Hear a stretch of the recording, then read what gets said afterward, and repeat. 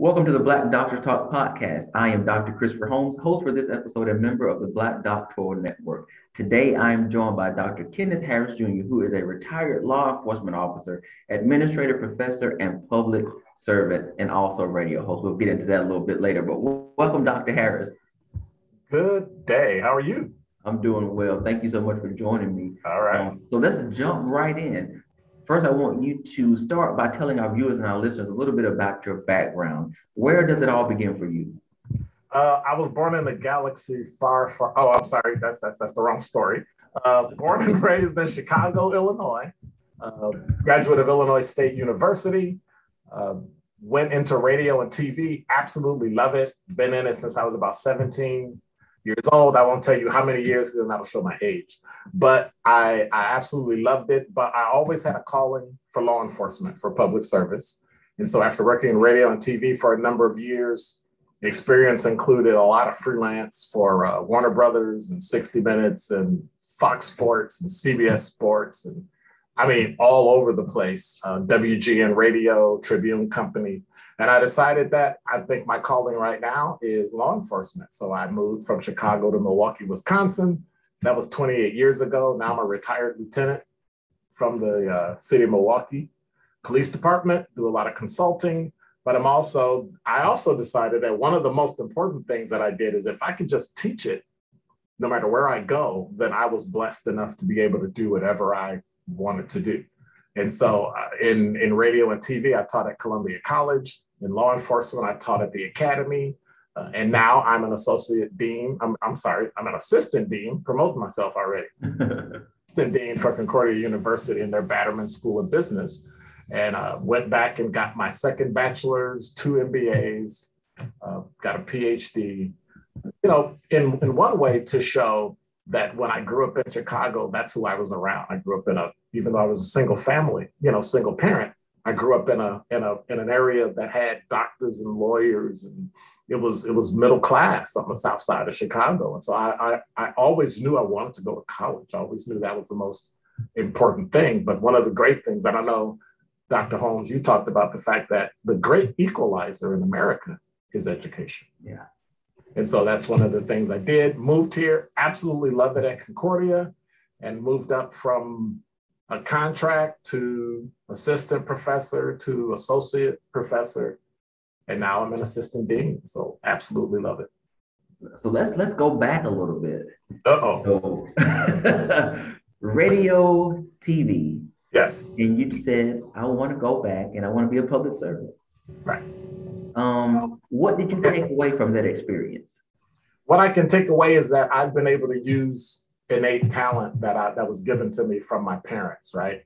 So I believe that everybody has innate things that they do. If you if you have children, you can see things that they do. You know, usually the things that irritate you because they have the same habits you have, and and you're able to see those things that have been passed down from my mother, from my father that I do. Those are the things that gave me my strength to be able to to to be able to talk publicly, to be able to share myself authentically. That a lot of people may not have that that strength or that that characteristic.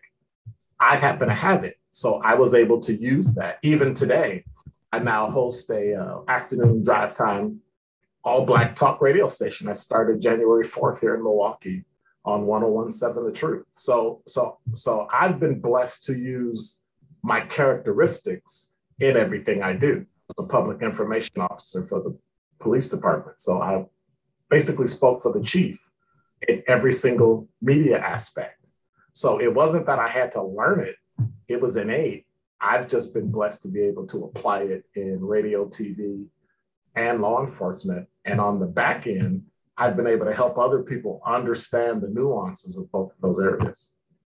So since I have you here, sir, as a retired officer, uh-huh. let's let's go a little bit deeper into uh, where we are now here with policing in America.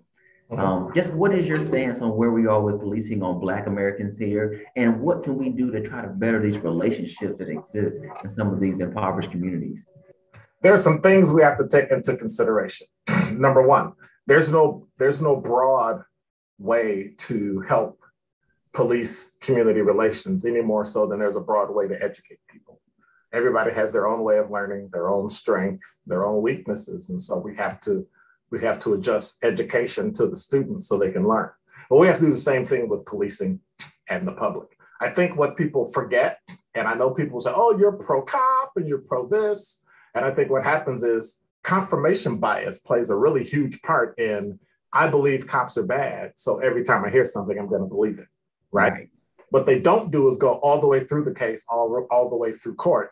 And if they start to mistrust the, ju- the judicial process, then they blame it on, well, you know, it's already fixed. Well, it's not fixed. Those same laws have been around for everybody for the last hundred years. You know, instead of changing the law, let's work on changing our behavior. I think one of the things is that the majority of impoverished neighborhoods, people don't commit crime. That in all but four instances, I believe, those officers that shot African American men went to jail. I think what we have to recognize is that all life is precious.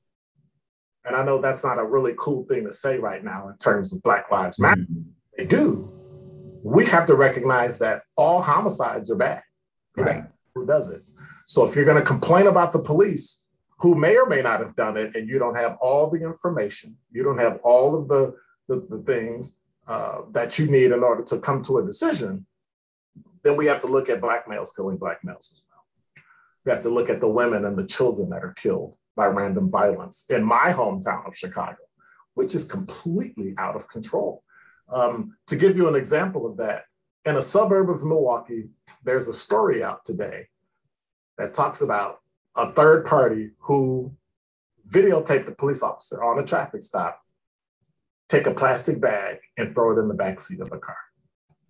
That officer instantly got accused of planting evidence.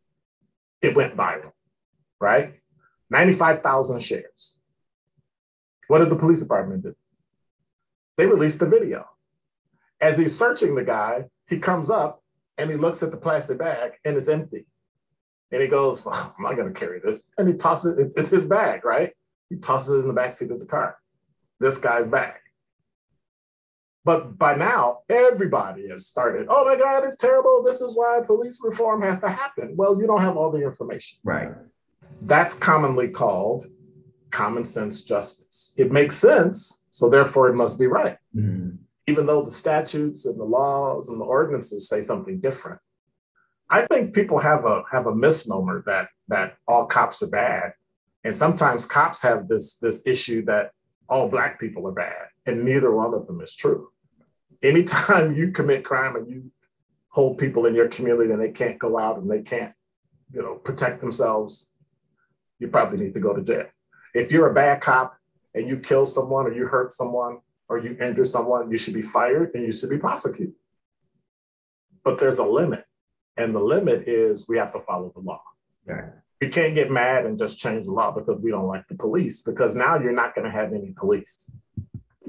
So if you remove certain things, cops are not going to be cops anymore. And the only place that's going to be uh, detrimental is all those impoverished areas where now there's nobody to help them when they call 911. So you, talk a lot about this um, idea of this miscommunication or the lack thereof of any type of communication. How do we get people to think differently about the police, especially since they're not getting all the information they really need to make good, sound judgments? Be patient. Be patient. Uh, there are an inordinate amount of people who have trusted the system and made it than those that have not. Um, and I'm not saying that the system is perfect by any means, but it's the best system in the world.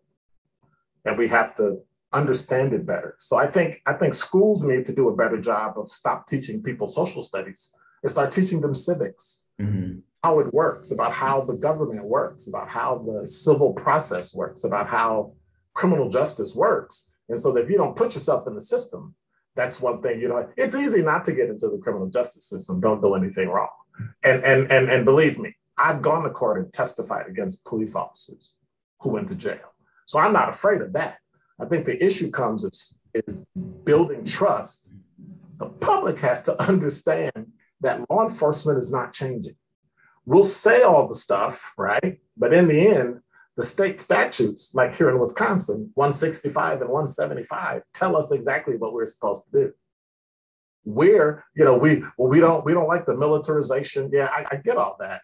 But that thin blue line you see on that flag, that's exactly what we are. Grandma, grandpa, aunts and uncles, mothers and fathers, sisters and brothers are safe today because of that thin blue line. And if you remove that by getting rid of law enforcement, I'm afraid our cities are going to go even worse. Yeah. Yeah. But, but but the communication piece, take time, get to know each other, understand what the law says you can and cannot do. And then I, I know I know it's weird, don't do it. When when when the cops do something wrong, prosecute them and send them to jail. Not every cop that's arrested and prosecuted should go to jail just like every human being who is accused of a crime should go to jail. Yeah. Right? Let the process work. Again, I go back to being patient, but let people know. Now, we can't let you know everything because if if if Dr. Christopher Holmes gets arrested, but he's not charged, there's no reason why his name should be out in the atmosphere when we found out, wow, it really wasn't him, and somebody got mad at him and said he did something. Right. Right? That goes both ways. Just because a cop says he did something, he or she did something, doesn't necessarily make sure, make them guilty. Take your time, listen to what's going on. Now, departments do a really poor job at communicating and releasing information. And they hide behind this, well, you know, we're, we're in an investigation. Dude, investigation, don't take that long what's going on within a day or two. You know that that magic point of 48 hours between the time a person is killed and the time you find that person. You have about 48 hours where all the information is fresh, where you can find them. After that, start releasing information. Yeah. Giving the public what they're asking for. And I think it'll help but you know better build that relationship. All right. So we're walking away with two things you just told, told us patience and trust. Yeah. Patience and trust. So let's pivot a little bit. Let's talk now about your work in higher ed. Um, what made you make this transition?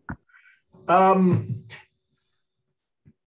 I can safely say, having taught at the academy, police academy, taught in different courses and work, and taught in higher ed, I probably put an excess of conservatively three, maybe 400 cops into the system over the last 28 years. Um, having the opportunity and the honor to make sure that that some black, white, Hispanic, Asian, male, female person has their head on right when they go out and are reminded that service is what it is. Mm-hmm. Um, that's what it's about. That's what made me make that transition um, because it was it was natural.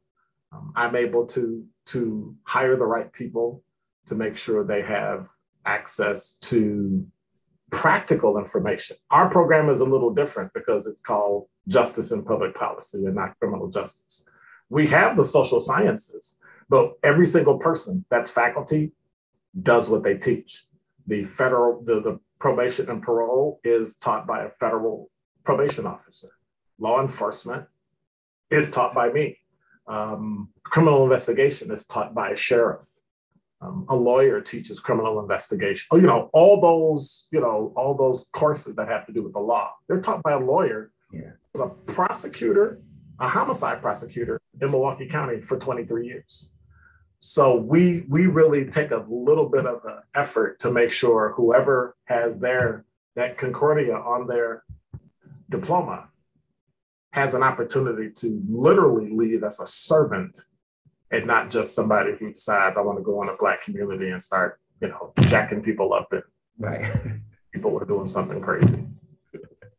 That's uh, that's awesome because that that practical knowledge by real-time practitioners makes a difference in terms of how you communicate the work to the people that are that will be doing that work soon. Um, I love that idea. I think more of that is needed. Um, I used to say that about my graduate program. Like I'm in education, I was like, my professors have never taught.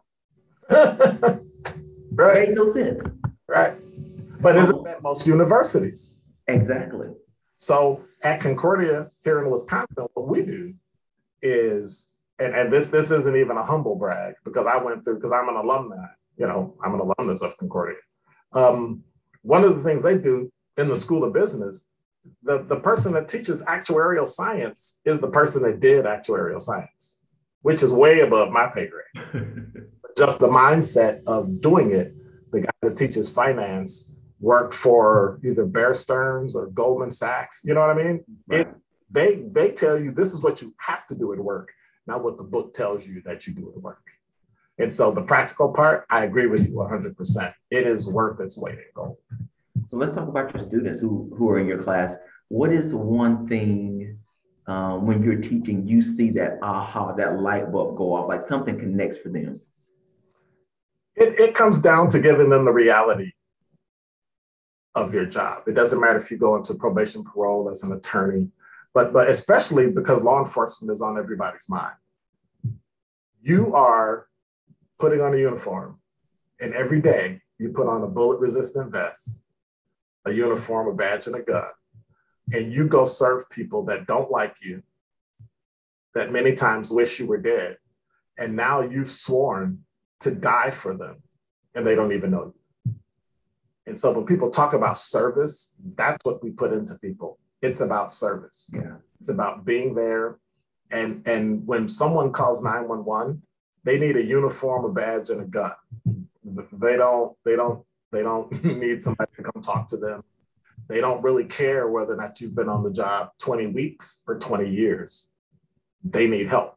And that's the mindset you have to have. That's why sometimes cops feel disconnected. Mm-hmm. That's because they have to be disconnected because once they become emotional, they may lose control because sometimes we've seen things that are so horrendous, but nobody else will go. That's yeah. us. And we decided we're going to go do this. And so I think sometimes we need to give, I don't like his attitude. Well, I left two baby deaths literally at 1205 and at 1.30 in the same morning where two babies died. I went home. I told my boss, hey, I got to go home. This is, but that's an everyday occurrence. Yeah. Now, over 20 years, eh, that officer might be a little, you know, but you don't know where they came from. We're all, yeah. we all make mistakes. We're just held to a higher standard and we should be. But sometimes you might want to cut a little slack. Yeah. I don't think people think about that, that what you just said. We're not sure where that cop may have come from before they come to us. And so we're looking, I don't know what we're looking for, this uh, this commercial cop, this cartoon character come up and I don't Perfection. know. Perfection. oh, perfect. Right. I, I remember some days I would I would literally have a 10 o'clock class to teach and I have a nine o'clock meeting with faculty. I just left a triple homicide in downtown and I run home, change clothes, you know, take a shower, change clothes, get in the car, drive to a suburb. I come to the university, I sit down, and the most important thing to them is this like one little minor thing that all you have to do is make a decision. And I'm sitting there thinking to myself, and my brain is at a triple homicide. Yeah. And and to think what the families are going to have to go through and what relatives have to go through. And here you are complaining about something so minor in life just make a decision and move on. You know, yeah. life is precious, and so those those are the types of things you have to deal with every day. Awesome.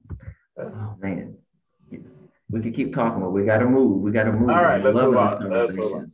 Um, because I could talk about, you know, are we seeing numbers decline in, in, students enrolling who want to be cops? Like, what are their mindsets coming in? Like, it's a lot more we can talk about because it's sure. such a prevalent um, issue right now. And I and I would love for you, if we have more time, to just give more insight on that side of it. Because I don't think we hear a lot from cops anymore. We don't, they're not talking, but everybody else is talking for them. And right. I think you can provide a powerful voice um, for that side and for that narrative. But I do want to talk about this. You are, first of all, you do a lot already, but you're very active in Milwaukee, very, very active. Why is that so important to you? Um, why is that important to me? It's it's important to me because and, and I like to use example really practical examples. It's important to me because I'm also a member of 100 Black Men of Greater Milwaukee. The slogan for 100 Black Men is what they see is what they'll be.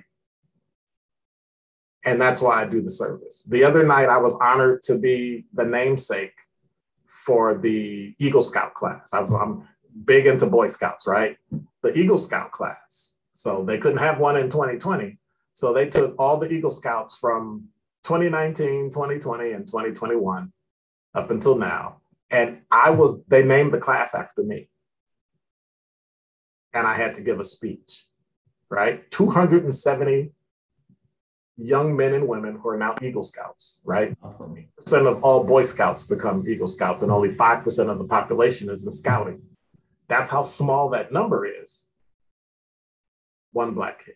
Wow. Out of all of them. And he was away because he went into the Navy because he wants to be a naval officer. But but that's why I do what I do. That that if I can just reach one, we love numbers and we love to give away scholarships. So we gave a thousand dollar scholarships to 20 people. Okay, that's 20 grand. Why don't you divide that by four and give it to four over four years and make sure they get out of school? Yeah. You know, those those are the little things that we have to take care of. If so, so if I can make just one, I'm not into the big numbers, just one mm-hmm. it go from high school to college, high school to military, high school to a job and then replicate that every year. Think of what a hundred black men or a hundred women or a hundred PhDs or doctorate level could do if they just picked one kid and over four years made sure they got their I can say kid now. you know, think of how the number of PhDs could literally double in five years, every five years, just like that. Yeah. And so that's why I do what I do. Wow. Um, so in all the things you've done, um, who has had a tremendous impact on you? Hmm, the person? The person. Persons. Um, well, when I was in first grade, there was this position. Actually, in Chicago, I literally, you, have heard of 4K? Yes. We call that Head Start. Okay. 3K. But they start when when it started in Chicago, I was in the first group of kids in the Chicago public schools that started Head Start. And there was this guy that came in named Charles Smith, who was a police officer. Called him officer friendly, right? And they went around all the schools and said hello. I ended up becoming a Boy Scout, a police explorer, and then an Eagle Scout because I knew him and he knew that I came from a single parent home and he was able to to give me guidance and wisdom through the years. You know, wanted to buy, got married, wanted to buy a house. What is all this? Where to look? Where to go? Things to consider, jobs to do, and that all we, all we need is that one person. You know, that one person that can be that mentor. And so Chuck Smith was that was that person. Uh, my wife and I just saw him last month. He is 78 years old. You know, and I still keep up with him every couple of months. I still talk to him. He still texts. He still because without that one person, right, who put me in scouting, that helped me learn wow, you can do carpentry and electronics and all these other things, and figure out that my skill set lie in public speaking and teaching in those areas in public service I wouldn't be here today. Awesome. So, what's one piece of advice that you would give somebody who wants to start in this field of public service? There's an old saying um, that I think they use in Rotary: "Service over self," mm-hmm. and that you have to you have to stick to that. That you don't do this. You do this, but well, first of all, make sure it's your calling make sure it's something that you'll do in your sleep. You know, my wife always teases me. I do that in my sleep. When I wake up, when I go up, like, when are you not meeting with somebody to help somebody with something? I said, because somebody did it for me. Yeah. Yeah. You know, somebody gave me that one kernel, that mm-hmm. Spark that created, you know, two bachelor's degrees, two masters, and a PhD. You know, one person. You know, so that can happen that's what I want to do. If you want to get into public service, find out what your calling is.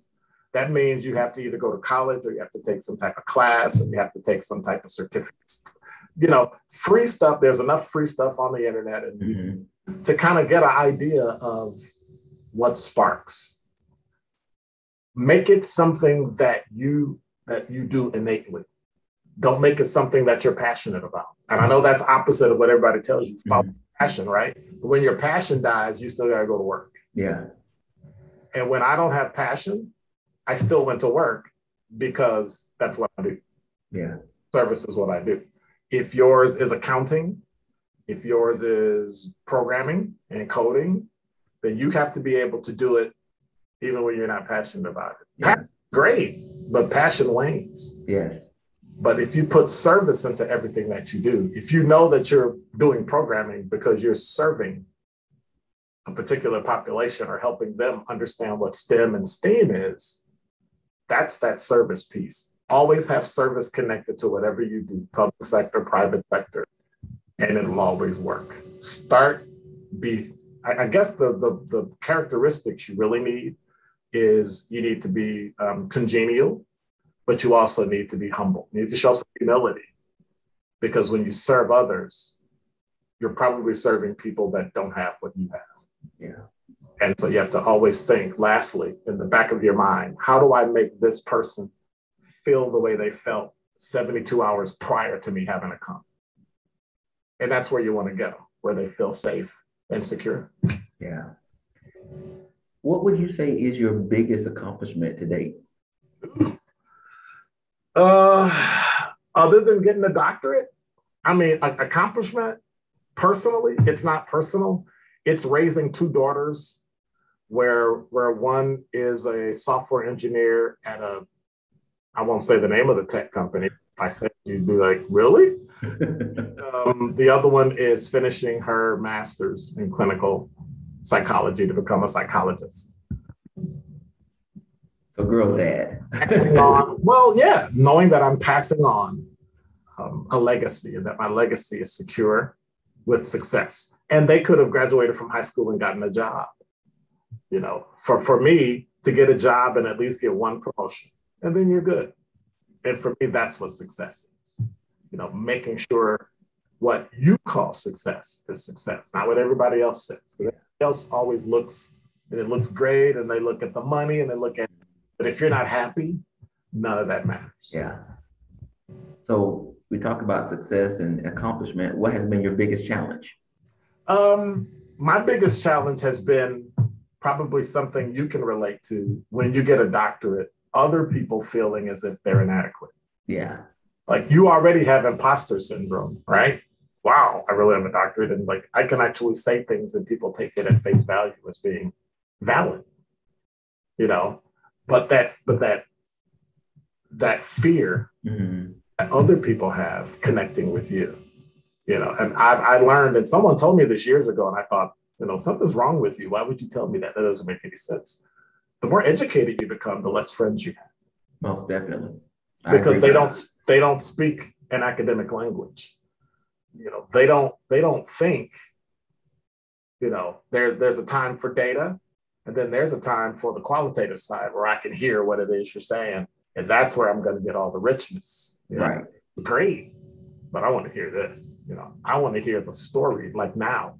This is rich data. And people, and I think people miss that. That's been my biggest challenge, helping people understand you can fix all this stuff with a conversation.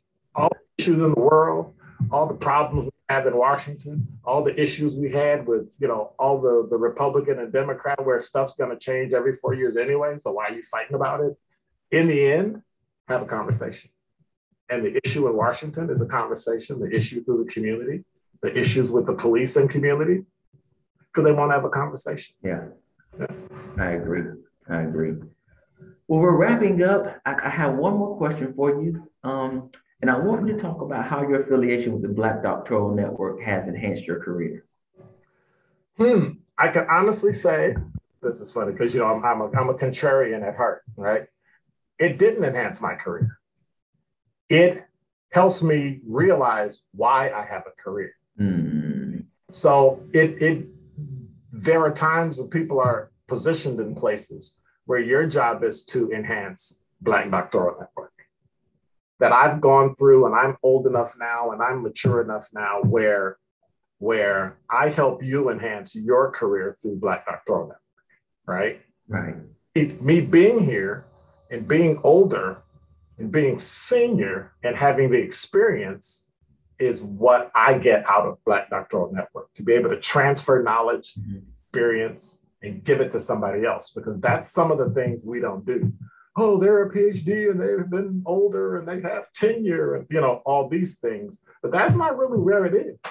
You know, I look at my goal here in the Black Doctoral Network is to answer those questions, to parse through mm-hmm. the issues people have. Where, and I'll give you a great example.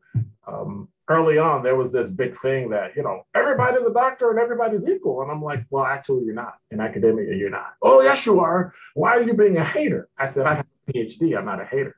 I said, it comes down to a Juris Doctor, right? It's a doctorate, but it's a professional degree, like an MBA, like a, like a dentist, like a medical doctor, right? You're an expert in your field. A PhD, more academic. Yes. So you'll probably get a job quicker with a PhD in certain instances than you may with a JD or right. That that's not an argument. That's how academia is set up. So position yourself. Go back and get a certificate. Go back and get so that you can get into academia. But if you only have a, a JD, and I'm, I'm just picking on lawyers, if you only have a JD, then you can only teach law. Right. If you go back and get your LLM, right, do some research, and you know the whole criminal justice world opens up to you.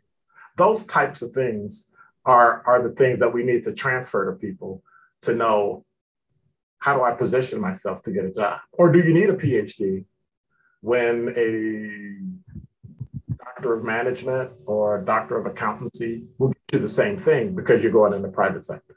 Hmm. You know, helping helping those nuances is probably the most important thing I see the Black Doctoral Network doing because sometimes you got to be in a room with people that look like you. Yeah. And you got to hear from people that look like you, people that are that have the same issues and the same problems and dealing with deans and provosts and and and Coco is on a podcast um, with people that believe in equity, diverse diversity, and inclusion, but don't include culture. Yeah. Wow. So having Black people is one thing, accepting their culture is a completely different thing. So I could care less about equity, diversity, inclusion. And I say that with quotes because if you don't accept my culture, you don't accept me. Most definitely. So that's, oh, that's a whole other conversation. You, you really hit something just then. You, you're really trying to make me talk, but I'm not going to do it. But I, right. really, on behalf of the Black Doctoral Network, I would like to say that it is a privilege for us to create a space to have somebody like you to come and do what you are called to do, and that is share information and to help guide people through uh, the things that they want to do in life and that they're called to do in terms of purpose. Um, this has been a wonderful interview. Thank you so much for joining me again today. It has been a pleasure. Uh, Dr. Harris, if you don't mind, could you tell our viewers and listeners where they can go and learn more about you and the work that you're doing? Uh, you can see me on LinkedIn. I'm under Talented Strategies on LinkedIn. You can just Google Dr. Kenneth Harris Jr um, and it should pop up. There are quite a few Dr. Kenneth Harrises out there. now, when you go to right LinkedIn, one. guys, when you go to LinkedIn, you're not going to see all this, okay? No, you're not going to see all this. this, this, this is my my uh, in, in, law enforcement. They have a thing for um, um, prostate cancer called No Shave November. Yes. This is from last November. Gotcha. I just kept it. So it looks good on you, brother. Well, thank you. I appreciate that. So follow me on LinkedIn and tell them again about the, the show that you're hosting your radio. Uh, 1017 The Truth. They have an app that you can download. And um, with all the issues that went on in 2020 and all the things we had, you know, we've had several issues here in here in Milwaukee with the yeah. Park riots, the block from my house, and issues in Kenosha, things of that nature. So um, some folks locally, Good Karma Brands, decided to um, they've they've got stations here all predominantly white stations, you know, 620 WTMJ and all the ESPN stations in Wisconsin and some in Florida. And they decided to kind of put their money where their mouth is. We can talk about it or we can be about it. And so they started um, WGKB FM 1017, The Truth. And we started January 4th and we've been rolling it ever since. And I'm the afternoon drive time host 4 to 6 p.m. Central Time. They've got an app you can download. All the stuff is on podcasts, on Spotify, Stitcher. Um, so it gives the Black community a voice that they don't necessarily hear. And we've got them from 30 years old to me being 61 years old. And we, get every generation and every vibe and community activists. Um, Mel and Joe in the morning, they work for the Milwaukee Bucks. They're, they're the in-house announcers for the Milwaukee Bucks. 30 years old, they're young they're they're at that age where they're they don't know if they millennials or Gen Z and all you know, and we go back and forth and talk about generational, but it's done in a loving way, and we give the community the opportunity to speak and hear things that they don't necessarily hear every day on predominantly white radio stations. So we're we're excited. We're here. Check us out. And that's it. Thank you for asking. That's awesome. I want to check you out. I want to check you out today. All right. So, hey guys, so please be sure to stay connected with the Black Doctoral Network as well and join us on all of our social media channels. Thank you for joining us today for the Black Doctor Talk podcast. We hope you will join us again next time. But for now, be sure to like, share, subscribe, and please don't forget to tell a friend. Dr. Harris, thank you again for joining me and have a wonderful day.